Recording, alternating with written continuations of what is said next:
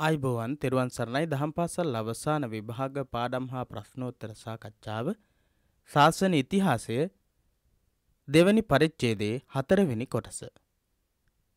පළවෙනි ධර්ම සංගායනාවට අදාළ තොරතුරු අපි මේ කොටසේදී සාකච්ඡා කරමින් සිටින්නේ දෙවැනි පරිච්ඡේදයේ පළවෙනියටම තියෙන්නේ ප්‍රථම ධර්ම සංගායනාව ගැන. ඉතින් මේ ප්‍රථම ධර්ම සංගායනාවට සම්බන්ධ තොරතුරු කොටස් තුනක් යටතේ අපි සාකච්ඡා කරලා තියෙනවා හතරවෙනි කොටසේදී ධර්ම සංගායනාව පැවැත්වීම කුද්දානුකුද්දක ශික්ෂාපද චන්නට බ්‍රහ්ම දණ්ඩන දණ්ඩ පැමිණවීම බ්‍රහ්ම දණ්ඩනයේ පැමිණවීම අනද තෙරුන්ට දොස් පැවරීම සංගීතයේ ප්‍රතිඵල පුරාණ තෙරුන් පිළිබඳ පුවත කියන මේ තොරතුරු පිළිබඳව සාකච්ඡා කරන්නට තමයි සූදානම් වෙන්නේ. පිරිවෙන දහම් පාසල අපේ YouTube නාලිකාව ඒක හොඳින් මතක තියාගන්න අපේ නාලිකාව අපේ නාලිකාවෙන් බොහෝ තොරතුරු අපි සාකච්ඡා කරනු ලබනවා දහම් පාසල් විභාගවලට අදාළ තොරතුරු රාසියක් අපි මේ නාලිකාව තුළින් සාකච්ඡා කරනු ලබනවා. ඉතිං අපේ නාලිකාවත් සමඟ තාම සම්බන්ධ වෙලා නැත්නම් සබස්ක්‍රයිබ් කරලා නැත්නම් සබස්ක්‍රයිබ් කරන්නට කියලත් මතක් කරන ගමන් අපි පාඩම ආරම්භ කරමු. මෙන්න මේ විදිහට තමයි ඔබගේ පාඩම දහම් පාසල් අවසාන විභාගයට නියමිත පාඩම සඳහන් වෙන්නේ මේ තියෙන්නේ සංගායනාව පැවැත්වීම කියන කොටස. රජගහනුවරට පැමිණි පන්සියක් දෙනා වහන්සේ ඇසල මස අවපෑලවියදා වස් එළඹ ප්‍රථම මාසයෙහි විහාරාම විහාරාරාම ප්‍රතිසංස්කරණය කළහ අනතුරුව නිකිනි මස අව දියවක්දා සප්තපරණී ගුහාද්වාරයෙහි අජාසත් රජු විසින් කරවන ලද මණ්ඩපේට රැස් වූහ. අනද හිමියන්ටද සුනක් අසුනක් තබා අනෙක් හිමිවරු අසුන් ගත්හ. අනද තෙරණුවෝද එදින අලුයම රහත් බව ලබා සභා ගැබට පැමිණ අසුන් ගත්හ. ඉක්බිති මහකසුප් තෙරණුවෝ සුනාත්හ මේ ආවුසෝ සංගහෝ යදි සංගස්ස පත්ත කල්ලං අහං උපාලින් විනයං පුච්චෙයන් යනුවෙන් සංඝයාට දන්වා පළමුවම උපාලි හිමියන්ගෙන් විනය ප්‍රශ්න විචාලා. ඔය විදිහට තොරතුරු රාසියක් අන්තර්ගත වෙනවා. ඉතින් මේ කොටසේදී මේ විදිහට අපිට විශේෂ කරුණු සාකච්ඡා කරන්නට බැරි නිසා මේ විදිහට අපි පාඩම සකස් කරගෙන තියෙනවා. රජගහනුවරට පැමිණි පන්සියක් දෙන වහන්සේ. පන්සීයක් දෙනා වහන්සේ. භික්‍ෂූන් වහන්සේලා පන්සිය දෙනෙක් ඇසල මස අවපෑලවියදා. ඇසල මාසේ පෝය දවසට පස්සේ දවසේ වස් එළඹ වස් සමාදං වෙනවා ප්‍රථම මාසයෙහි විහාරාරාම ප්‍රතිසංස්කරණය කළහ. වස් එළඹෙනවා. ඇසල මාසේ වස් සමාදන් වෙලා ඒ ඇසල මාසේ වස් සමාදන් වෙච්ච දවසේ ඉඳලා මාසයක් පුරාවටම කරන්නේ සංගායනාව පැවැත්වීමට අවශ්‍ය කරන විහාරාරාම ප්‍රතිසංස්කරණය කරන එක අනතුරුව. නිකිනි මස අව දියවක්දා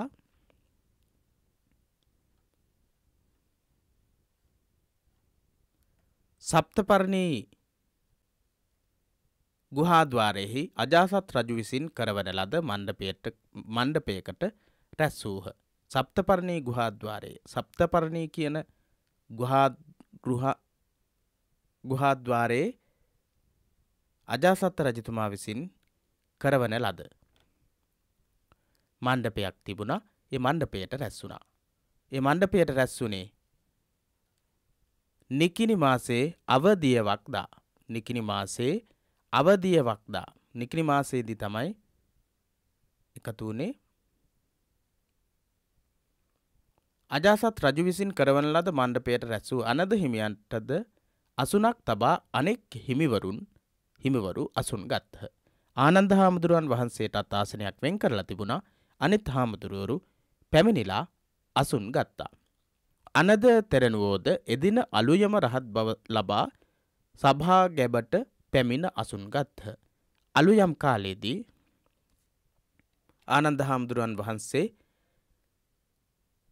රහත් භාවයට පත්වෙනවා ඊට පස්සේ පැමිණිලා සභාගපට ඇවිල්ලා ආසනයේ ඉඳගන්න උන්වහන්සේ වෙනුවෙන් ආසනයක් වෙන් කරලායි තිබුණේ ඒ වෙන් කරලා තිබුණු ආසනය ඇවිල්ලා ඉඳගත්තා. උන්වහන්සේ පැමිණිච්ච ආකාරය දොරේ සිදුරෙන් පැමිණිච්ච ආකාරය එර්දියෙන් වැඩම කරපු ආකාරය සහ උන්වහන්සේ ඉරියව් හතරෙන් එක ඉරියව්වකට පත් නොවී සැතපෙන්නට තමන්ගේ හිස පාත් කරමින් වැතිරෙනවත් එක්කම මහරහත් භාවයට පත්වෙච්ච ආකාරයක් ගැන තමයි ධර්ම සාහිත්‍යයේ සඳහන් වෙලා තියෙන්නේ උන්වහන්සේගේ රහත් භාවය ඒ වගේ සුවිශේෂිත වූ රහත් භාවයක් බවට පත්වෙනවා.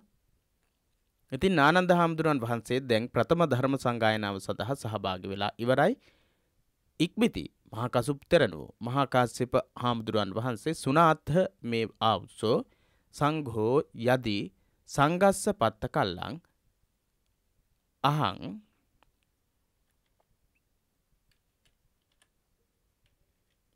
උපාලි උපාලින් විනයං පුච්චෙයං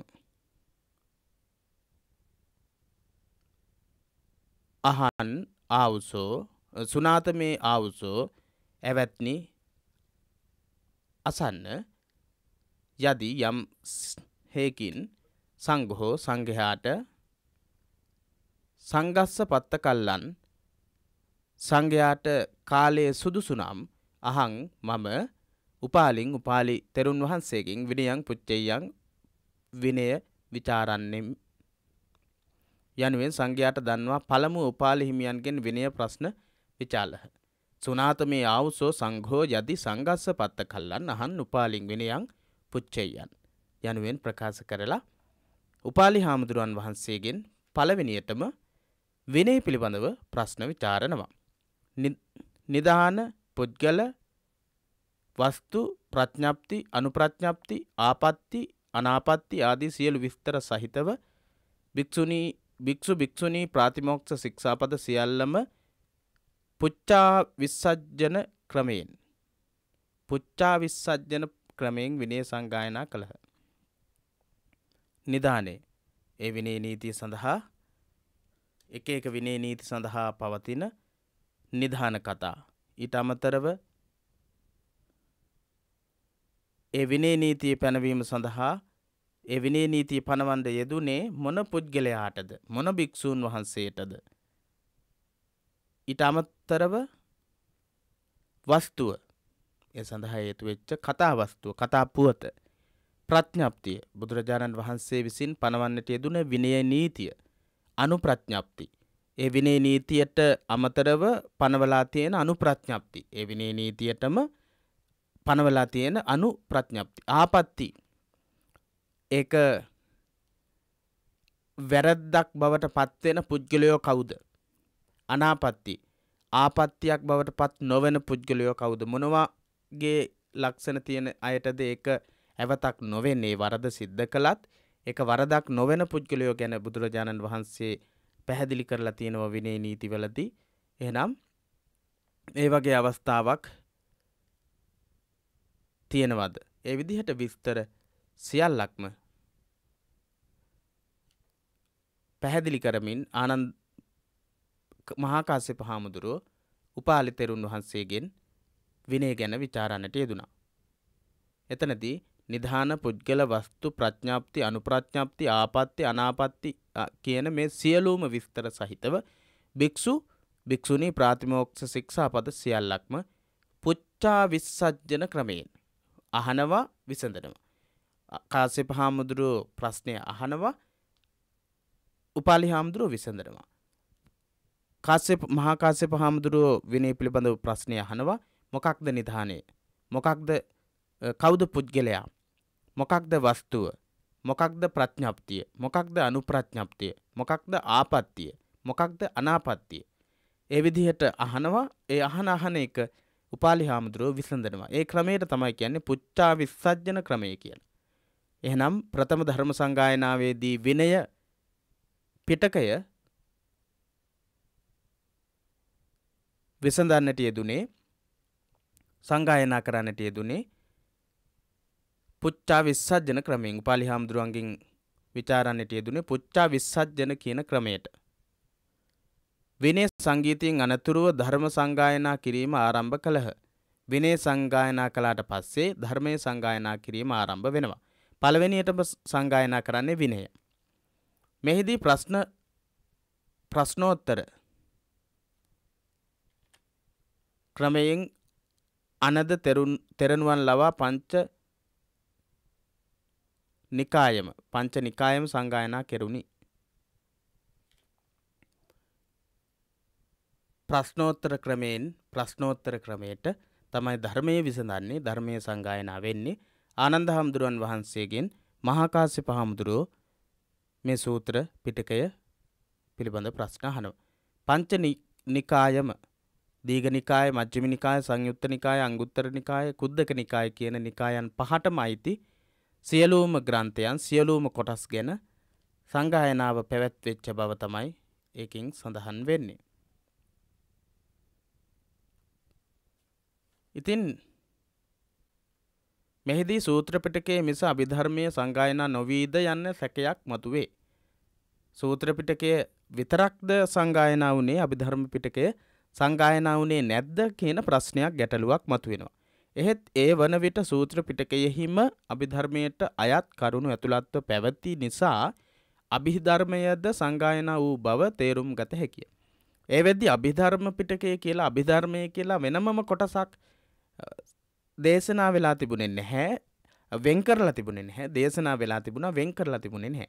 ඒ නිසා මේ නිකාය පහටම අයිති පොත්වල නිකාය පහටම අයිති කොටස්වල අභිධර්මයත් අන්තර්ගත වෙනවා. ඒ නිසා අභිධර්මයත් පළවෙනි ධර්ම සංගායනාව වෙලාවේදී සංගායනා වෙනවා. අභි ධර්ම සූත්‍ර පිටකයෙන් වෙනම පිටකයක් සේ සකස් වී ඇත්තේ පසු කලක බවත් එය අමුතු ධර්ම කොට්ටාසයක් නොව සූත්‍ර පිටකයේම අතිරේක අතිරේකයක් බවත් සැලකීම යුක්ති සහගතය. අභිධර්මය කියලා කියන්නේ වෙනමම සම්බුද්ධ දේශනාවක් නෙවෙයි බුදු දහමේම ඉගැන්වෙන ගැඹුරු ඉගැන්වීමක්. බුදු දහමේම ඉගැන්වෙන ගැඹුරු ඉගැන්වීමක් තමයි මේ අභිධර්ම පිටකේ තියෙන්නේ.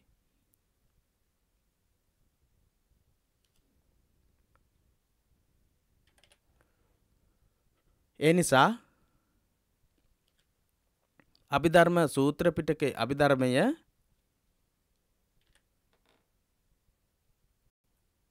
සූත්‍ර පිටකයෙන් වෙනම පිටකයක් සේ සකස් වී ඇත්තේ පස්සේ කාලයක. අභිධර්මයේ සූත්‍ර පිටකයෙන් වෙනම පිටකයක් අභිධර්ම පිටකේ විදිහට වෙන් වෙලා තියෙන පස්සේ කාලේ. අමුතු ධර්ම කොට්ටාසයක් නෙවෙයි සූත්‍ර පිටකේම අතිරේකයක් බව සලකන්නට ඕන අභිධර්මය කියන්නේ සූත්‍ර පිටකේම අතිරේකයක්. සූත්‍ර පිටකයේ තුළම උගන්වන කොටස්වල අභිධර්මයේ සියලුම අංගයන් ඇතුළත් වෙනවා.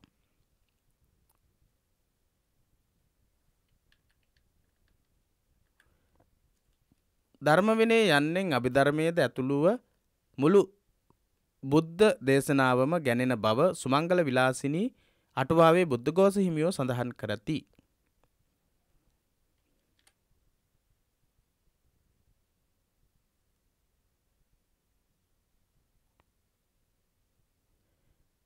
ධර්ම විනය යන්නෙන් අභිධර්මයද ධර්මය සහ විනය කියන කියලා ගත්තම ධර්ම විනය කියන එක ඇතුළේම මේ කියන අභිධර්මයත් අන්තර්ගතයි. ධර්ම සහ විනය කියන එක ඇතුළේම තමයි අභිධර්ම කියන එකත් අන්තර්ගත වෙන්නේ. ධර්ම විනය කියන එකේ අභිධර්මයත් ඇතුළුව ගැනෙන බව සුමංගල විලාසිනී අටුවාවේ බුද්ධඝෝස හාමුදුරුවෝ සඳහන් කරලා තියෙනවා. බුදුරදුන්ගේ සම්මුඛ ශ්‍රාවක වූ මහා කාශ්‍යප උපාලි ආනන්ද මහා කච්චායන අනුරුද්ධ පුන්නමන්තානි පුත්ත කොට්ඨිත වංගීස කුමාර කස්සප බුදුරදුන්ගේ සම්මුඛ ශ්‍රාවක වූ සම්මුඛ ශ්‍රාවක වූ කියලා කියන්නේ බුදුරජාණන් වහන්සේව දැකලා බුදුරජාණන් වහන්සේගෙන්ම පැවිද්ද ලබාගත්ත කියන අර්ථය. උපාලි මහා කාශ්‍යප හාමුදුරුව උපාලි හාමුදුරුව ආනන්ද හාමුදුරුව මහා කච්චායන හාමුදුරුව අනුරුද්ධ හාමුදුරුව පුන්න මන්තානි පුත්ත හාමුදුරු කොට්ටිත හාමුදුරුව වංගීස හාමුදුරුව මහ කුමාර කාශ්‍යප හාමුදුරුව වැනි තෙරවරුද මේ සංගායනාවට සහභාගී වූහ.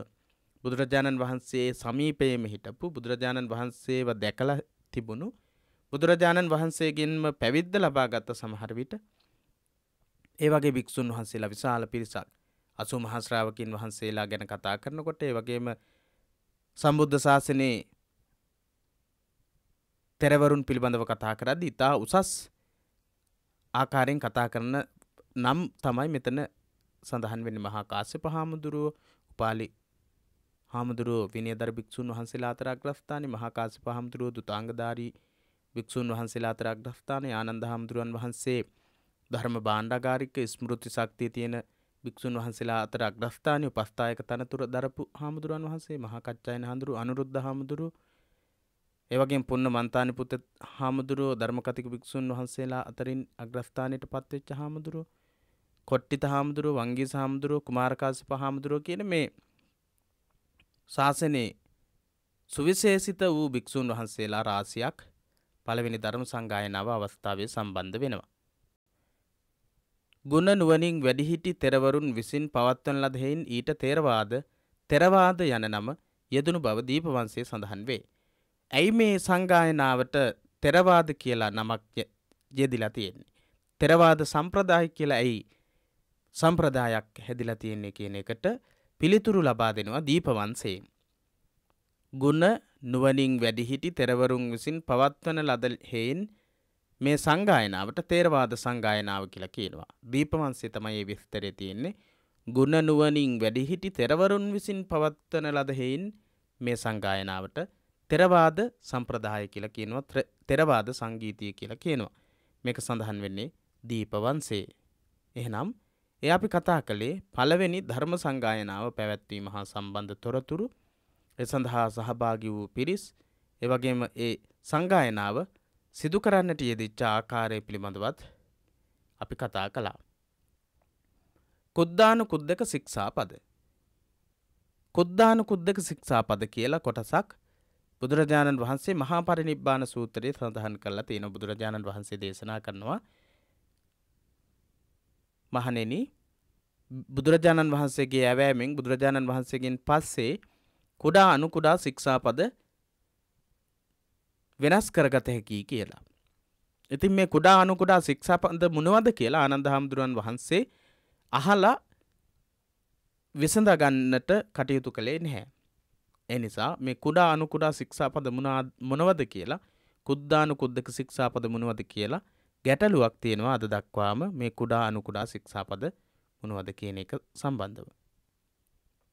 ධර්ම විනය දෙක සංගායනා කොට අවසන් වූ පසු කුද්දානු කුද්දක ශික්ෂාපද පිළිබඳ සාකච්ඡාවක් ඇතිවිය. එසේ වූයේ භික්ෂු සංඝයා කැමති නම් කුද්දානුකුද්දෙක් ශික්ෂාපද බැහැර කළාට වරදක් නැතැයි බුදුරදුන් අවසර දුන් බව අනද තෙරෙනුවන් ප්‍රකාශ කළ විටයි. ආනන්ද හාමුදුරුවෝ ප්‍රකාශ කරනවා කුද්දානුකුද්දක ශික්ෂාපද බැහැර කරන්නට භික්‍ෂූන් වහන්සේලාට අවස්ථාවක් දීලා තියෙනවා අවසර දීලා තියෙනවා කියලා බුදුරජාණන් වහන්සේ කරපු ඒ ප්‍රකාශය ආනන්ද හාමුදුරුවන් වහන්සේ ප්‍රථම ධර්ම සංගායනාව අවස්ථාවේදී සිහිපත් කරනවා.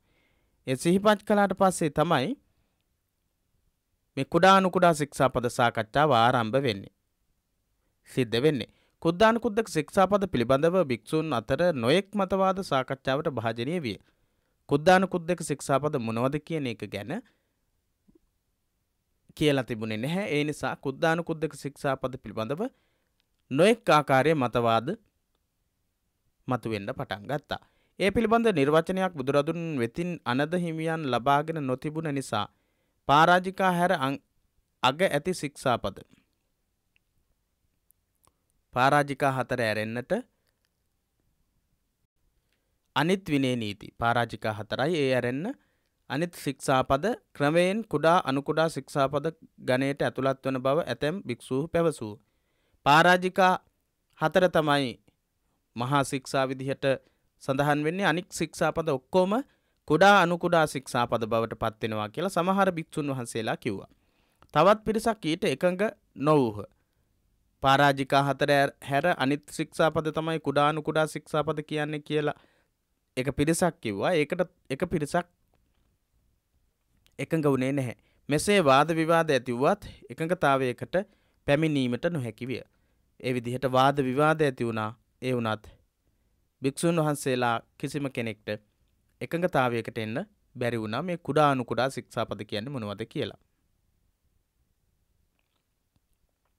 බුදුරජාණන් වහන්සේ පිරිනිවන් පෑ විගසම ශික්ෂාපද වෙනස් කිරීම ලෝකයාගෙන් අපවාද ලැබීමට කරුණක් විය හැකි බව මහකසුප් තෙරණුව ප්‍රකාශ කළහ. බුදුරජාණන් වහන්සේ පිරිනිවන් පාපු ගමම්ම ශික්ෂාපද වෙනස් කරගත්තොත් වෙනස් කරන්නට කටයුතු කරොත් ලෝකයාගෙන් අපවාද ලැබීමට කරුණක් වෙනවා කියලා මහකාසිප හාමුදුරුව ප්‍රකාශ කරන බුදුරජාණන් වහන්සේ පිරිනිවන් පාලා ටික දවසක් යද්දිම මේ භික්‍ෂූන් වහන්සේලා තම තමන්ට කැමති විදිහට ශික්ෂාපද වෙනස් කරගෙන ඒ විදිහට කටයුතු කරනවා කියලා චෝදනාවක් එන්න පුළුවන් කියලා මහාකාසිප හාමුදුරුව ප්‍රකාශ කළා. අනතුරු උන්වහන්සේ ඊට පස්සේ මහාකාශ්‍යප හාමුදුරුවන් වහන්සේ සංගතෙමේ නොපැන වූ කිසිවක් නොපනවයි පැන වූ පැනව්වත් නොසිඳී පැනවූවක් නොසිඳී පනවලා තියෙන ශික්ෂාපද බිඳින්නේ නැහැ පැන වූ තාක් ශික්ෂාපදයන් සමාදන්ව පවතිමු.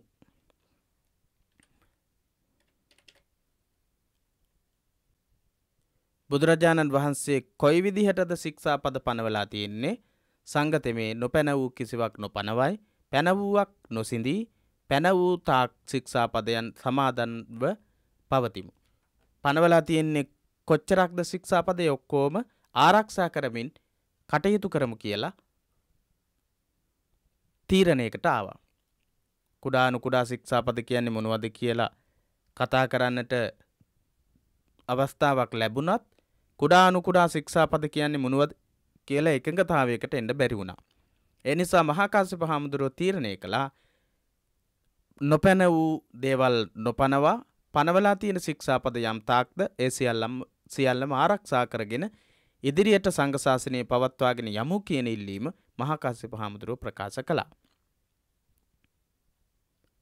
මෙම පුවත තෙරවාද මූලාශ්‍රවල පමණක් නොව මහා වස්තුව වැනි අන්‍ය සාම්ප්‍රදායික ග්‍රන්ථවලද මෙලෙසින්ම සඳහන් වෙයි.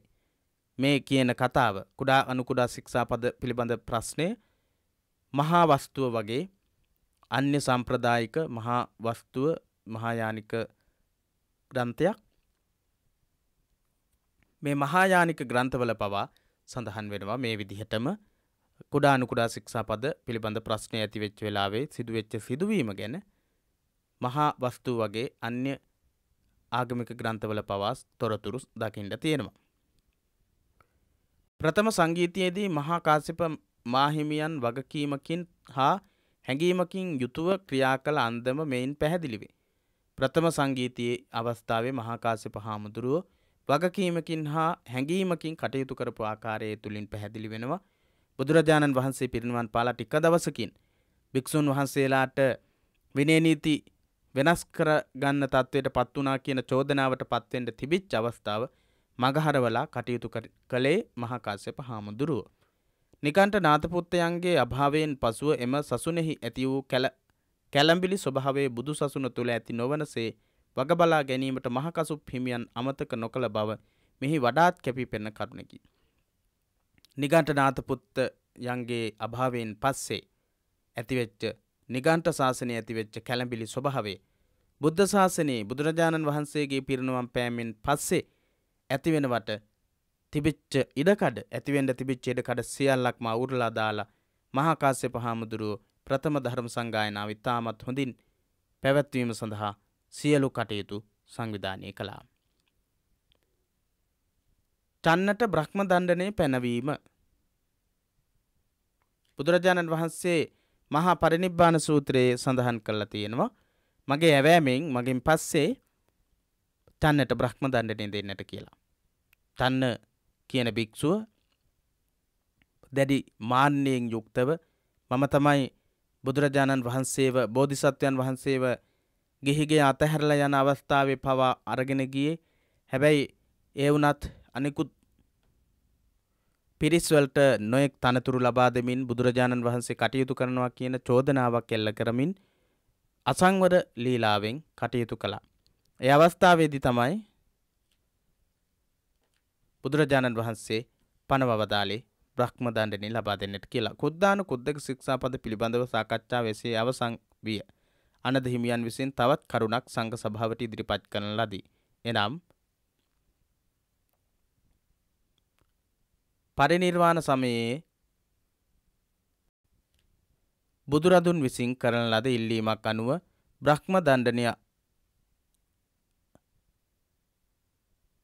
අනුව හික්මෙන තුරු චන්න තෙරුන් සමග කිසිවකු කතාබහ සබඳතා ඇති නොකොටගෙන ඒ හිමියන් වර්ධනය කිරීම පිළිබඳ කරුණයි. බ්‍රහ්ම දණ්ඩනේ පරිනිර්වාණයට ආසන්න සමයේ බුදුරජාණන් වහන්සේ විසින් ඉල්ලීමක් කරලා තිබුණා චන්නට චන්න භික්ෂුන් වහන්සේට බ්‍රහ්ම දණ්ඩනය දෙන්න කියලා චන්න තෙරුන් සමග කිසිවකු කතාබහ සබඳතා ඇති නොකොටගෙන ඒ හිමියන් වර්ජනය කිරීම. හික්මනතුරු බ්‍රහ්ම දණ්ඩනය අනුව හික්මනතුරු චන්න තෙරුන් වහන්සේ සමග කිසිම කෙනෙක් කතා බහ නොකර සබඳතා ඇති නොකරගෙන කටයුතු කරන්නට කියලා ඉල්ලීමක් කරලා තියෙනවා කියලා. බ්‍රහ්ම දණ්ඩනය කියන්නේ කතා බහ නොකර සම්බන්ධතා පවත්වන්නේ නැතිව හුදකලා කරලා තියෙන එක. වැරදි කරපු නොහික්මුණු අයවර් ඉවත් කරලා එය අය සමග කතා බහ නොකර පැත්තකට කරලා තියෙන එක. ඒ අය සමග සම්බන්ධතා කතා බහ කිරීම ආදීන් දුරස් කරලා තියෙන එක. ඒකට බ්‍රහ්ම දණ්ඩනය කියලා තමයි කියන්නේ. ඒ බ්‍රහ්ම දණ්ඩනය දෙන්නට කියලා බුදුරජාණන් වහන්සේ මහා පරිනිබ්බාන සූත්‍රයේදී අනුදැන වදාරලා තියෙනවා. එය කළ යුතු බවට සියලු තෙරවරු සම්මත කරගත්හ.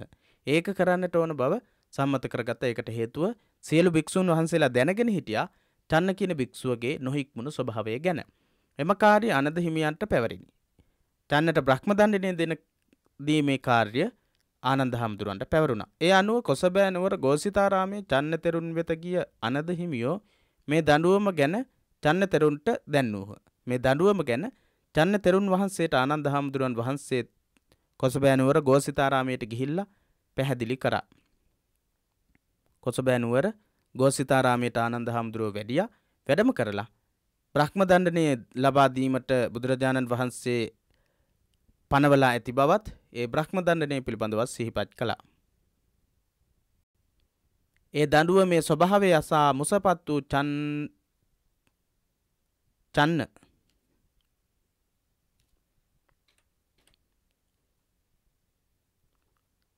තෙරණුවෝ නැවත සිහිය ලැබ භාවනා කොට රහත් ඵලය ලබා ගත්හ. මුසපත් වුණා. උන්වහන්සේ ක්ලාන්ත වුණා. ඒ බ්‍රහ්ම දණ්ඩනයේ ස්වභාවය හපු ගමන් උන්වහන්සේ ක්ලාන්ත වුණා. නැවත සිහිය ලබාගෙන භාවනා කරලා රහත් ඵලය ලබා ගන්න තත්වයට පත් වුණා. තන්න තෙරුන් වහන්සේ. අනද තෙරුන්ට දොස් පැවරීම ආනන්ද හාමුදුරුවන්ට සංගීතිකාරක භික්ෂූන් වහන්සේලා දොස් පැවරුවා. එමනුවද කියලා බලමු මොකටද ආනන්ද හාමුදුරුවන්ට දොස් පවරන්නේ කියලා. සංගීති අවසානයේ සිදූ අනෙක් වැදගත් සිද්ධිය නම් භික්‍ෂූන් වහන්සේ විසින් ආනන්ද තෙරණුවන්ට චෝදනා පහක් ඉදිරිපත් කිරීමයි. සංගායනාවෙන් පස්සේ සිද්ධ වෙච්ච විශේෂ කාරණයක් ආනන්ද හාමුදුරුවන් වහන්සේට භික්‍ෂූන් වහන්සේලා විසින් චෝදනා පහක් ඉදිරිපත් කළා. ආනන්ද හාමුදුරුවන්ට චෝදනා පහක් ඉදිරිපත් වුණා ඉදිරිපත් කළා. එම චෝදනා සියල්ලටම තමා නිවැරදි කරුවන බවට හේතු දැක්වූ අනද හිමියෝ භික්ෂු සංඝයා කෙරෙහි ඇති ගෞරවය නිසා එම වැරදි පිළිගෙන සමාව ඇයදි බව චොල්ල වග්ගයෙහි සඳහන් වේ එම චෝදනා පහමසේය. එම චෝදනා සියල්ලටම තමා නිවැරදි කරු වෙන බව හේ තමන් ඒ වැරදි පහටම නිවැරදි කාරී. ඒ වැරදි පහටම තමා වැරදි නැති බව දන්වලා ඒ වනත් භික්‍ෂූන් සංඝයා කෙරෙහි ඇති ගෞරවය නිසා වැරදි පිළිගෙන සමාව ලබාගත්ත බවත් චුල්ල වග පාලී සඳහන් වෙලා තියෙනවා චුල්ල වග පාලී සඳහන් වෙන විදිහට ඒ චෝදනා පහ මෙන්න මේ විදිහට තමයි දැක්වෙන්නේ. පළවෙනි චෝදනාව. කුද්දානු කුද්දක ශික්ෂා පද බුදුරදුන්ගෙන් නො විචාරීම පළමු වන චෝදනාවයි. කුද්දානු කුද්දක ශික්ෂාපද මොනවද කියලා බුදුරජාණන් වහන්සේකින් අහගත්තේ නැහැ. ඒක තමයි පළවෙනි චෝදනාව. බුදුරදුන් මෙම ප්‍රකාශය කරන අවස්ථාවේ තමන් වහන්සේ ඉතා සෝකාතුරව සිටි බැවින් අසා දැනගැනීමට නොහැකි වූ බව අනද තෙරණුවෝ ප්‍රකාශ කළහ ආනන්ද හාමුදුරුව ප්‍රකාශ කරනවා. බුදුරජාණන් වහන්සේ මේ කුද්දානු කුද්දක ශික්ෂාපද පිළිබඳව සඳහන් කරන මොහොතේ තමන් ඉතාමත් සෝකීව හිටපු බව බුදුරජාණන් වහන්සේ පිරිනිවන් පාන් දාසන්නයි. ඒ නිසා අවුරුදු වෙස්සක් උපස්ථායක තනතුර හොබවන්නට යෙදුණු උපස්ථායකයෙක් විදිහට කටයුතු කරන්නට යෙදුණු ආනන්ද හාමුදුරන් වහන්සේට ප්‍රතඥ භික්ෂුන් වහන්සේ නමක් හැටියට දැඩි ශෝකයක් ඇති වෙනවා දුකක් ඇති වෙනවා. ඒ වෙලාවේදී පිය සිහියක් නිවැරදි සිහියක් පවා නැති වෙන්න පුළුවන්. ඒ නිසා බුදුරජාණන් වහන්සේගෙන් කුද්දානු කුද්දක ශික්ෂාපද පිළිබඳව විචාරන්නට සිහි කල්පනාව තිබුණේ නැති බව ආනන්ද හාමුදුරුවන් වහන්සේ සිහිපත් කරනවා. පළවෙනි චෝදනාව කුඩා අනු කුඩා ශික්ෂාපද පිළිබඳව බුදුරජාණන් වහන්සේගෙන් අසාන් දැන නොගැනීම තමයි පළවෙනි චෝදනාව. තෙවනි චෝදනාව බුදුරදුන්ගේ වැසි සලුව පයින් මැඩගෙන මැසීම දෙවන චෝදනාවයි. දෙවනි චෝදනාව බුදුරජාණන් වහන්සේගේ වැසි සලුව පැන් පහසු වෙන වෙලාවට පළඳින වැසි සලුව පයින් පාගගෙන මැහුවා කියලා චෝදනාවක්. ආනන්ද හාමුදුරුවන් වහන්සේ බුදුරජාණන් වහන්සේගේ වැසි සලුව මහනව එක වෙලාවක ඒ වෙලාවේදී උන්වහන්සේ පයින් පාගගෙන මේ වැසි සලුව මෙහුව කියලා චෝදනා කරනවා. ඒ සිවුර මසද්දී සහයවීමට කිසිවෙකු නොසිටී බැවින් එසේ කරන්නට සිදු වූ බව අනද තෙරණුවෝ පැවසූහ ආනන්ද හාමුදුරුව ප්‍රකාශ කරනවා. සිවුර මම් මහන වෙලාවේ මට සහයට වෙනත් භික්‍ෂූන් වහන්සේ නමක් හිටියේ නැහැ. ඒ නිසා තමයි මට මහන වෙලාවේදී එක මහනකොට ඒ විදිහට කකුලෙනුත් පාගගෙන අත් දෙකමුත් අල්ලගෙන මහන්ඩ සිද්ධ වුණා. එවෙලාවේදී එහෙම සහය වෙන්න කෙනෙක් හිටියේ නෑ. ඒ නිසා තමයි මට එහෙම සිද්ධ කරන්න සිද්ධ වුණේ බුදුරජාණන් වහන්සේ කෙරෙහි අගෞරවයක් ඇති වෙන විදිහට ඒ දේ කරන්න ඕන නිසා මම ඒ විදිහට කරේ නැහැ. සහායකෙක් උදව් කරන්න කෙනෙක් හිටපු නැති නිසායි එහෙම කළේ කියලා සඳහන් කරනවා. තුන්වෙනි චෝදනාව. බුද්ධ ශරීරයේ පළමුවෙන්ම කාන්තාවන් ලවා වැඳවීම තුන්වන චෝදනාව විය. බුදුරදුන්ගේ ශ්‍රී දේහයට බුහුමන් දක්වන්නට පැමිණි මහා ජනකාය බහුල විය. ඒ නිසා කාන්තාවන්ට කල්වේලා ඇතිව නිවෙස්වලට යාමට ඉඩ සැලසීම් වසයෙන් එසේ කළ බව උන්වහන්සේ පැවසූහ. බුදුරජාණන් වහන්සේ පිරිනිවන් පෑවට පස්සේ පළවෙනියටම බුදුරජාණන් වහන්සේගේ ශ්‍රී දේහයට බුහුමන් දක්වන්ඩ අවස්ථාව දුන්නේ කාන්තාවන්ට. ඒ නිසා චෝදනාවක් නැගුණා ආනන්ද හාමුදුරුවන් වහන්සේ සිහිපත් කරනවා බුදුරජාණන් වහන්සේ මෙච්චර කාලසීමාවක් සම්බුද්ධ ශාසනයේ පිහිටවමින් මුළු ලෝකයටම අර්ථයෙන් ධර්මයෙන් මෙහෙවර සලසපු ශාස්තෘවරයාණන් වහන්සේ ඒ නිසා උන්වහන්සේ පිරිනිවන් පාපු බව දැනගත් වහාම දහස් ගණනින් මිනිස්සු එන්ඩ පටන් ගත්තා. ඉතින් මිනිස්සු එන්ඩ පටන්ගත්තට පස්සේ ඒ අය හැමෝම බුදුරජාණන් වහන්සේගේ දේහය බලන්ඩ ගත්තා. ඉතින් කාන්තාවන් කියන්නේ ආරක්ෂාවෙන් තොර පිරිසක් නිසා ඒ අයට ඉක්මනින්ම බුදුරජාණන් වහන්සේගේ ශ්‍රී දේහය බල්ලා තම තමන්ගේ නිවෙස්වලට යන්ඩෝ දෙන්න ඕන නිසා තමයි මම කාන්තාවන්ට පළවෙනියටම ශ්‍රී දේහය නැරඹීම සඳහා අවස්ථාව දුන්නේ කියලා ආනන්ද හාමුදුරුවන් වහන්සේ ඒ වරදින්නුත් නිදහස් වෙනවා.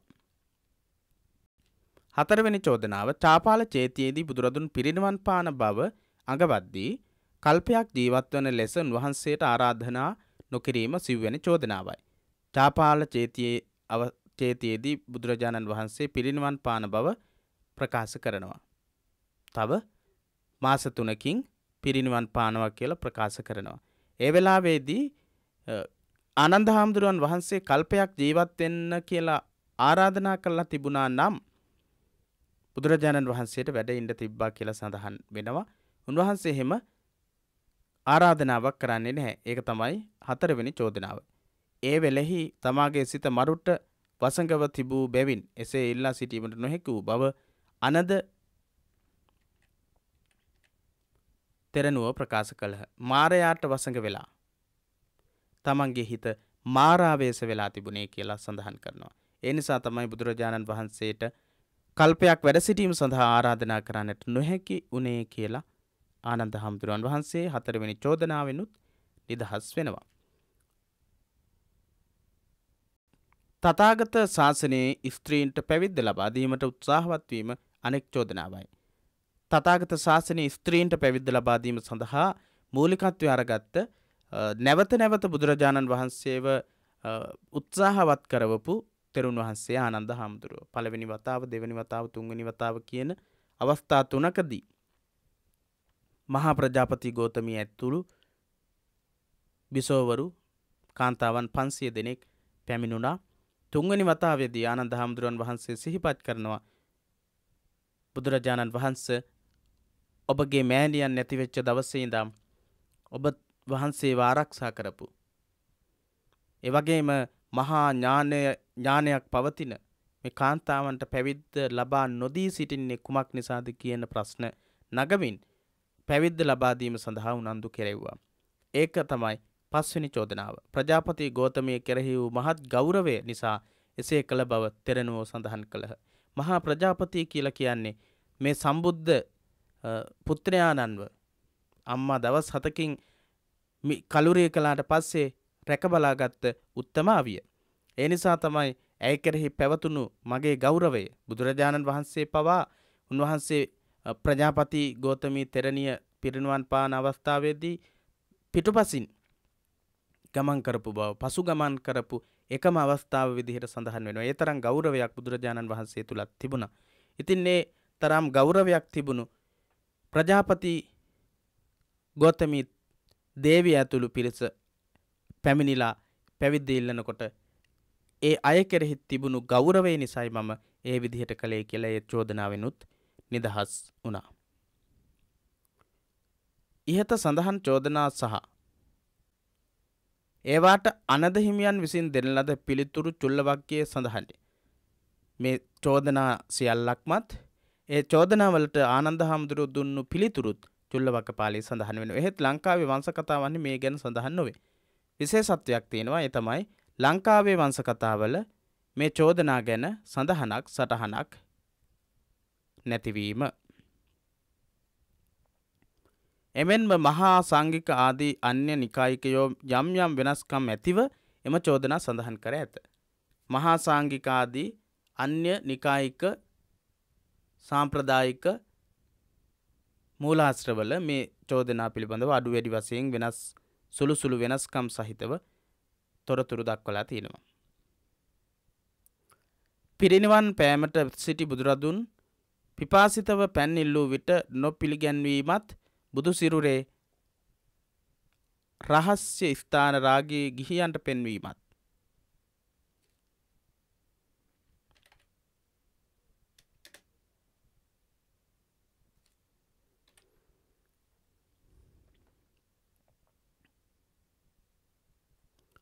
පිරිනිවන් පෑමට සිටි බුදුරදුන් පිපාසිතව පැන් ඉල්ලූ විට නොපිළිගැන්වීමත්.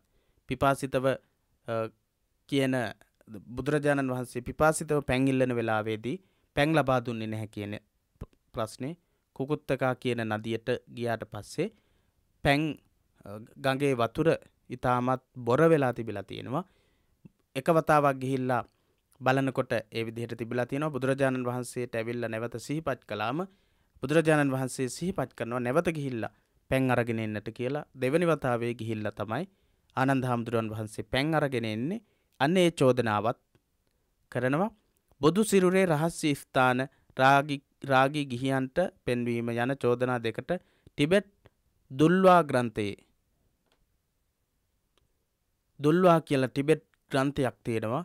ඒ ග්‍රන්ථය තමයි මේ චෝදනා දෙක සඳහන් වෙන්නේ පිරිනවන් පෑමට සිටි බුදුරදුන් පිපාසිතව පැන්නිල්ලූ විට නොපිළිගැන්වීමත් බුදුසිරුරේ රහස්‍ය ස්ථාර රාගික ගිහියන්ට පෙන්වීමට සැලැස්වා කියන චෝදනා දෙක.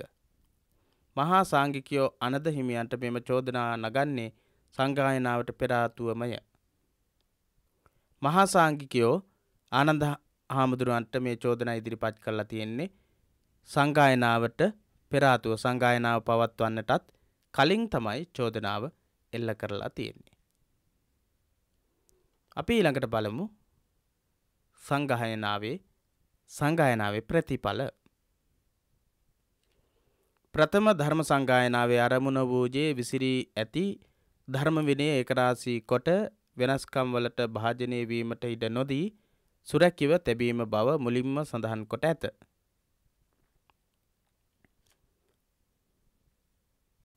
මුලින්ම අපි සාකච්ඡා කළා පළවෙනි ධර්ම සංගායනාවේ අරමුණ වනේ විසිරිලා තිබුණු මල් වගේ විසිරිලා තිබුණු ධර්ම විනය කොටස් ඒකරාසී කරලා වෙනස්කම් වලට භාජනය වීමට ඉඩ නොදී ආරක්ෂා සහිතව තැබීම තමයි අරමුණ බවට පත් වුණේ ඒ අනුව සංගායනාව අවසානයේ ස්ථාවර කරගත් ධර්මය පසුකාලීන ජනතාවගේ ප්‍රයෝජනය සඳහා ආරක්ෂා කර තැබීමට මෙහිදී පියවර ගත්තා. සංගායනාව අවසාන ස්ථාවර කරගත්. සංගායනා කරලා ස්ථාවර කරගත්තා. මේ ධර්මය පස්සේ කාලේ ජනතාවගේ ප්‍රයෝජනය සඳහා ආරක්ෂා කරලා ආරක්ෂා සහිතව තබන්නට භික්‍ෂූන් වහන්සේලා පියවර අරගත්තා පළවෙනි ධර්ම සංගායනාවේදී. ඊළඟට ඒ සඳහා එක් එක් ධර්ම කොටස් භික්‍ෂු පරම්පරාවට ආරක්ෂා කොට පවත්වාගෙන යාම සඳහා පවරලා තිබුණා. ඒ ඒ පරම්පරාවලට එබැවින් මෙම ප්‍රථම ධර්ම සංගීතය ධර්මයෙහි පවිත්‍රත්වයට හා බුදුසසුනේ ස්ථාවර භාවයට අද අතිසයෙන් ඉවහල් වූ බව කිව හැකිය.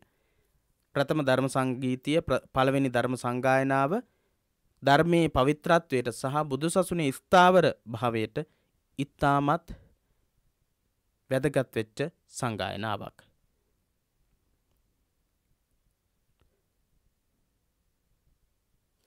මෙම සංගීතය විනය සංගීති නමින් තේරවාදීහු හඳුන්වති. විනය සංගීතී විදිහට හඳුන්වනවා සංගීතයට විනය ප්‍රශ්නයක් මුල්වීම ඊට හෙක් හේතුවක් වන්නට ඇත.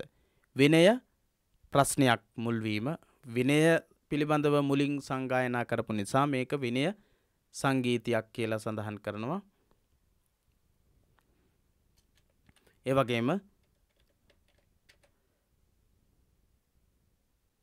කුද්දානු කුද්දක සික්ෂා පිළිබඳව ගැටලුවක් ඇති වෙච්ච නිසාත් මේක විනය සංගීතයක් විදිහට සාකච්ඡා කරලා තියෙනවා. කුද්දාන කුද්දක ශික්ෂාපත වෙනස් නොක්කිරීමේ තීරණය ගැනීමද මෙම සංගීතයේ විනයට අදාළව සිදුවූ අනෙක් වැදගත් කරුණක්. විනයට අදාළ විශේෂ කාරණයක් තමයි කුද්දාන කුද්දක ශික්ෂාපද වෙනස් නොකිරීමේ තීරණය. ඒ නිසාත් මේක විනය සංගීතයක් විදිහට සඳහන් කරනවා. පුරාණ තෙරුන් පිළිබඳ කතාවද ප්‍රථම ධර්ම සංගීතය පිළිබඳ වැදගත් සිතියක්. පුරාණ කියන තෙරුන් වහන්සේ සුවිශේෂී භික්‍ෂූන් වහන්සේ නමක් මේ පළවෙනි ධර්ම සංගායනාව හා සම්බන්ධව කතා කරන්නකොට. පුරාණ තෙරුන් පිළිබඳ කතාව පුවත. පුරාණ කියන හාමුදුරුවන් වහන්සේ පිළිබඳ සිදුවීම අපි පළමු. සංගීතය පැවැති කාලයෙහි පුරාණ නම් තෙරනමක් පිරිවර භික්‍ෂූන් පන්සීයක් වහන්සේ සමඟ දක්ෂිනාගිරියෙහි වැඩවාසය කළහ. සංගීතය පැවැති කාලයෙහි පුරාණ කියන හාමුදුරුව තෙරුන් වහන්සේ පිරිවරක් පිරිවර භික්‍ෂූන් පන්සීයක් වහන්සේ සමග පිරිවර භික්‍ෂූන් පරිවාර භික්‍ෂූන් වහන්සේලා පන්සිය දෙනෙක් එක්ක දක්ෂිනාගිරියේ වැඩවාසය කරලා තියෙනවා දක්ෂිනාගිරි කියන ප්‍රදේශයේ වැඩවාසය කරලා තියෙනවා සංගීතය අවසානයේ උන්වහන්සේ රජගහනුවර වේල්වනාරාමයට වැඩියහ. සංගායනය ඉවර වුණාට පස්සේ රජගහනුවර වේල්වනාරාමයට ආව. තමන් වහන්සේ විසින් බුදුරදුන්ගේ ධර්මය මැනවින් සංගායනා කළ බවත් ප්‍රකාශ කළ සංගීතිකාරක මහතෙරවරු එම සංගීතය පිළිගන්නා ලෙසත් පුරාණ හිමියන්ගෙන් ඉල්ලා සිටියා. තමන් වහන්සේ විසින් බුදුරජාණන් වහන්සේගේ ධර්මයේ මැනවෙන් සංගායනා කරපු බවත් ප්‍රකාශ කරලා සංගීතිකාරක තෙරවරුන් එම සංගීතයේ පිළිගන්නා ලෙස පුරාණ කියන හාමුදුරුවන්ගෙන් ඉල්ලා හිටියා. එවිට පුරාණ තෙරණුවෝ ඇවැත්නි. තෙරුන් වහන්සේ විසින් මැනවින් ධර්මය සංගායනා කර ඇත. එතකුදු වුවත් මම බුදුරදුන් වෙතින්ම ඇසූ දහම් ඇත්තෙමි එසේම එය දරන්නෙමි. යැයි පැවසූහ.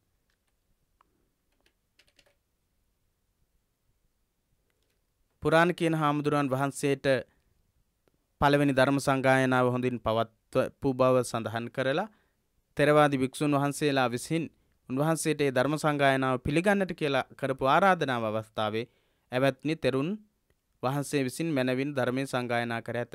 සංගීතිකාරක තෙරුන් වහන්සේලා සංගායනා හොඳින් සිද්ධ කරලා තියෙනවා. ඒ වුණත් එතෙකු දුවත් මම බුදුන් වෙතින් මැසූ දහම් ඇත්තෙමි.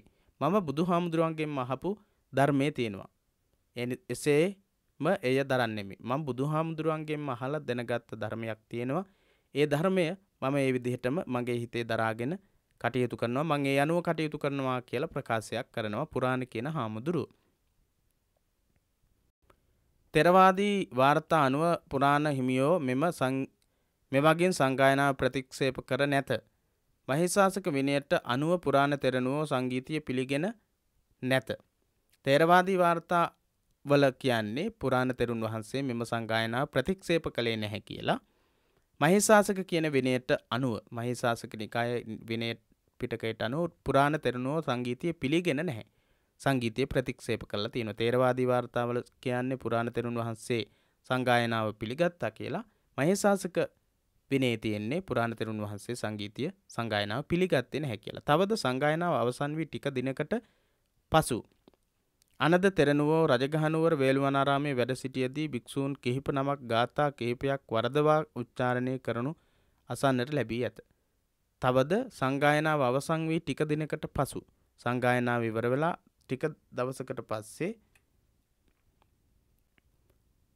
රජගහනුවර වේළුවනාරාමේ වැඩ හිටපු භික්ෂූන් කීප නමක් ගාථා කීපයක් වරදවා උච්චාරණය වැරදි විදිහට උච්චාරණය කරලා තියෙනවා. එහි වරද පෙන්වා දුන් නමුදු එය පිළිගෙන නැත. ආනන්ද හාමුදුරුවන් වහන්සේ මේ ගාථාවේ වැරද්ද පෙන්නලා දීලා තියෙනවා ඒත් ඒක පිළිගෙන නැහැ. එමෙන්ම අනද තෙරුන් මහලු බැවින් ගිහි සිහි කල්පනාව දුර්වල යයිද තම උච්චාරණයේ නිවැරදි යයිද එම භික්‍ෂූන් පිළිගත් බවක්ද මහා සංඝිකයෝ සඳහන් කරති.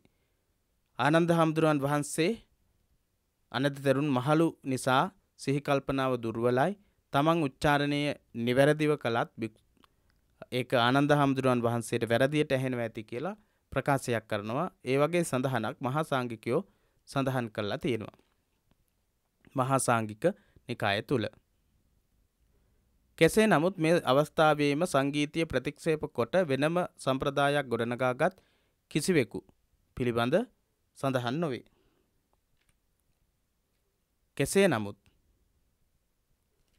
පුරාණ හාමුදුරන් වහන්සේගේ සිදුවීම පුරාණ හාමුදුරුවෝ බුදුරජාණන් වහන්සේගෙන්ම ධර්මය අහලා ඒ ධර්මයට අනුව කටයුතු කරනවා කියන ප්‍රකාශයත් වේළුවනාරාමේ භික්ෂුන් වහන්සේලා ගාථා වැරදියට සජ්ජායනා කරන අවස්ථාවක ආනන්ද හාමුදුරන් වහන්සේ නිවැරදි කරන්නට ගියාම ඒ පිළි නොගත්ත අවස්ථාවක් ගැනත් සඳහන් වෙනවා හැරෙන්නට වෙනත් සම්ප්‍රදායක් වෙනමම සම්ප්‍රදායක් ගොඩනගාගත් අවස්ථාවක් ගැන සඳහන් වෙන්නේ නැහැ. ප්‍රථම සංගීතයේ ඓතිහාසිකත්වය පිළිබඳ මතභේද පවතී. ඓතිහාසිකත්වය පිළිබඳව එක එක මතභේද තියෙනවා පළවෙනි ධර්ම සංගායනාවේ ඉතිහාස ගත සංගායනාවක්ද කියන එක පිළිබඳව ප්‍රශ්නයක් තියෙනවා. විනේ චුල්ලවක්ගේ මිස මහා පරිනිර්වාණ සූත්‍රය සංගායනාව ගැන සඳහනක් නොමැති නිසා සංගීතිය පිළිබඳ පුවත පසුකාලීනව ගොතන ලද ප්‍රබන්ධයක් යැයි ආචාර්ය ඕල්ඩන් බර්ග් ඕල්ඩන් බර්ග් කියන පනිවරයා සඳහන් කරනවා. ඕල්ඩන් බර්ග් කියන පනිවරය ආචාර්ය ඕල්ඩන් බර්ග් කියන පනිවරයා සඳහන් කරන්නේ මහා පරිනිර්වාණ සූත්‍රයේ සංගායනාව ගැන සඳහන් වෙන්නේ නැති නිසා විනය චුල්ල වග්ග පාලියේ විතරක් සඳහන් වෙන නිසා පංච සතිකක් කන්දකේ සඳහන් වෙන නිසා මේක පස්සේ හදාගත්ත ප්‍රබන්ධයක් විදිහට කියනවා. ඕල්ඩන් බර්ග් කියන පනිවරයා තමයි මේ ප්‍රකාශය සිද්ධ කරලා තියෙන්නේ. සුභද්‍රගේ ප්‍රකාශය ගැන සඳහන් කරන පරිනිර්වාණ සූත්‍රය සංගායනාව ගැන සඳහන් නොකිරීමෙන් පෙනී යන්නේ ඒ ගැන පරිනිර්වාණ සූත්‍රය කතුවරයා නොදැන සිටි නිසා යයිද ඕල්ඩන්බර්ග් තවදුරටත් පෙන්වා දෙයි. සුභද්‍රගේ ප්‍රකාශය ගැන සඳහන් වෙනවා පරිනිබ්බාන සූත්‍රයේ. හැබැයි පරිනිබ්බාන සූත්‍රයේ ඒ ගැන සඳහන් වුණාට සුබද්‍රගේ ධර්ම විනය විරෝධී ප්‍රකාශය පදනම් කරගෙන ප්‍රථම ධර්ම සංගායනාව පැවැත්වනා කියන එක පිළිබඳව පරිනිර්වාණ සූත්‍රයේ සඳහන් නොවීම නිසා මේ වගේ සැකයක් ඇති කරගන්න සිද්ධ වෙනවා කියලා ඕල්ඩන්බර්ග් තවදුරටත් පෙන්වා දෙනවා ඕල්ඩන්බර්ග් සඳහන් කරනවා මහාචාර්ය ඔටෝපෑන්ක් ඔටෝප්‍රෑන්ක් ද ඒ මතය අනුමත කරනවා මහාචාර්ය ඔටෝ ප්‍රැන්ක් කියන පනිපටයත් මහාචාර්වරයත් මේක අනුමත කරලා තියෙනවා. එහෙත් පරිනිර්වාණ සූත්‍රයේ බුද්ධ පරිනිර්වාණය පිළිබඳ වාර්තා කරන සූත්‍රයක් බැවින් සංගායනාව ගැන එහි විස්තර ඇතුළත් කරන්නට අවශ්‍යතාවයක් නැත. ආචාර්ය ෆිනෝ ඉදිරිපත් කරන කරුණු අනුව ඕල්ඩන්බර්ග්ගේ අදහස ප්‍රතික්ෂේප වේ. ආචාර්ය ෆිනෝ කියන පණිවරයා ඉදිරිපත් කරනවා තොරතුරු ඒ අනුව ඕල්ඩන්බර්ග් අදහස ප්‍රතික්ෂේප වෙනවා. පරිනිර්වාණ සූත්‍රයේ බුද්ධ පරිනිර්වාණය පිළිබඳව තමයි වාර්තා වෙන්නේ. ඒ නිසා ඒ සූත්‍රය තුළ සංගායනාව ගැන විස්තරයක් ඇතුළත් කිරීම අවශ්‍ය වෙන්නේ නැහැ කියලා තමයි ආචාර්ය ෆිනෝ කියන පරිවරයා සඳහන් කරන්න. ඔහු දක්වන අන්දමට මූල සර්වස්තිවාදීන්ගේ විනෙහි පරිනිර්වාණය පිළිබඳව පුවත පෙම ප්‍රථම සංගීතයතේ ආරක්ෂා වී ඇත. ඔහු දක්වන අන්දමට මූල සර්වාස්තිවාදීන්ගේ විනයෙහි පරිනිර්වාණය පිළිබඳ පුවත පරිනිර්වාණය පුවත ප්‍රථම සංගීතයතෙක් ආරක්ෂා වෙලා තියෙනවා. පරිනිර්වාණ පරිනිබ්බාන සූත්‍රය පිළිබඳ පුවත ප්‍රථම සංගායනාව දක්වා තියෙනවා. සංගායනාව පිළිබඳ තොරතුරු ඇතුළත් කිරීමට යෝග්‍ය ස්ථානය විනය නිසා සංගායනාව පිළිබඳව තොරතුරු ඇතුළත් කරන්නට යෝග්‍යම ස්ථානයේ විනය පිටකේ නිසා විනය නිසා මුල් සූත්‍රයෙන් සංගීතීය පිළිබඳ පුවත් චුල්ල වග්ගයට ඇතුළත් කර ඇතැයිද ආචාර්ය ෆිනෝ කල්පනා කරයි. මුල් සූත්‍රයෙන් සංගීතී පිළිබඳව පුවත චුල්ල වග්ගයට ඇතුළත් කරන්නට ඇති කියලා ආචාර්ය ෆිනෝ කියන පරිවරයා ප්‍රකාශ කරනවා.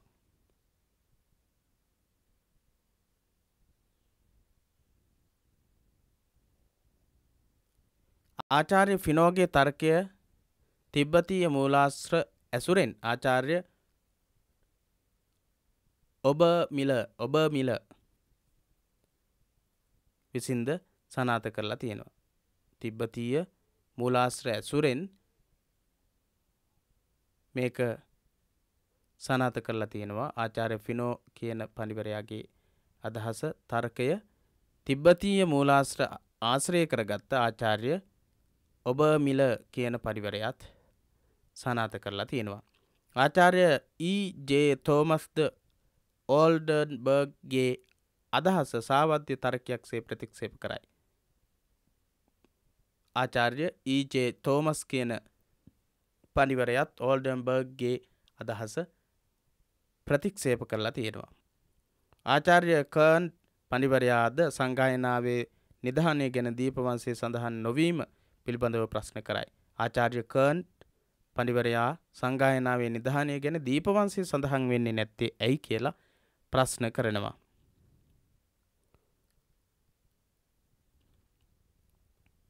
එහෙත් දීපවන්සේ සිව්වන පරිච්චේදයෙහි ප්‍රථම සංගීත ඉතා නිදහස් ලෙස නම් කර ඇත. ඉතා නිදහස් ලෙස නම් කරලා තියෙනවා. ධම්ම සංගහ ධම්ම සංගහ පටම සං දීපවන්සේ මේ ගැන සඳහන් වෙන්නේ ධම්ම සංගහ පටම සඟහ ධම්ම විනය සඟහ සංගහ යන හුදු වචනයෙන් දීපවන්සේ මෙය සඳහන් කරලා තියෙනවා. මේ විදිහේ වචන කිහිපයකින් තමයි ප්‍රථම ධර්ම සංගායනාව ගැන දීපවන්සේ සඳහන් කරලා තියෙන්නේ.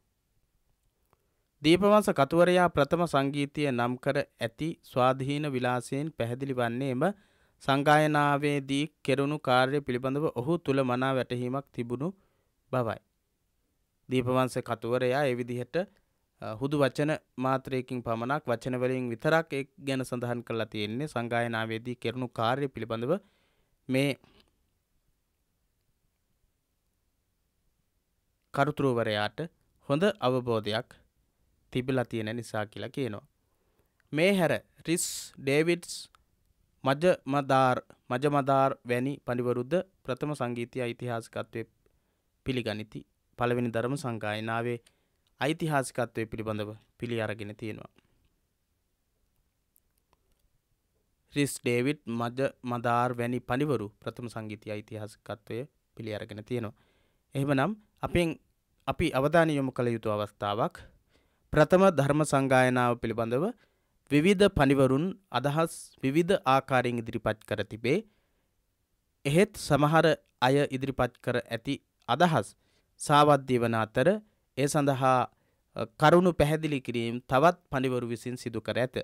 ඒ පිළිබඳ ප්‍රථම ධර්ම සංගායනාව පිළිබඳ පැවති මතබේද ඇතිවෙච්ච මතබේද පිළිබඳව පැහැදිලි කිරීමක් කරන්නට කියලා ඇහුවොත් අපිට මේ කතා කරපු විස්තර වැදගත් වෙනවා. මේ අනුව ඇතැම් විචාරකයන් සඳහන් කරන අන්දමට ප්‍රථම සංගීතය හුදු ප්‍රලාපයක් නොවේ. සමහරය ප්‍රකාශ කරන විදිහට ඒක ප්‍රලාපයක් ඒක බොරුවක් වෙන්නේ නැහැ ප්‍රථම ධර්ම සංගායනාව ඉතාමත් හොඳින් ඓතිහාසිකව සිද්ධ වෙච්ච බවට තොරතුරු රාසියක් තියෙනවා ඓතිහාසිකව පිළිගත හැකි සිද්ධියක් වෙනවා. එහෙමනම් අපි මෙතනදී සාකච්ඡා කළා තොරතුරු ගොඩක් ඒ තමයි කතා කරපු කොටස්වල අපි කතා කළා.